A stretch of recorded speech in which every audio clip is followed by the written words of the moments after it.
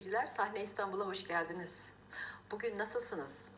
Bizler sizlerle kavuşmanın heyecanı içerisindeyiz. Güzel bir etkinlik hazırladık sizler için. Harika bir konser programı sizleri bekliyor. Kim mi konuğumuz? Dünyaca ünlü sanatçımız Gülsin Onay. Şu anda biz Lütfü Kırdar'dayız. Koridordayız. Biraz sonra hep birlikte odasına gireceğiz. Bugünkü konser hakkında konuşacağız ve Gülsin Onay'ı çok yakından tanımaya çalışacağız. Haydi bakalım başlıyoruz.